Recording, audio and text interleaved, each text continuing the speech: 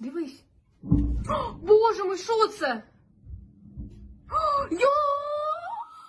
О, Боже мой!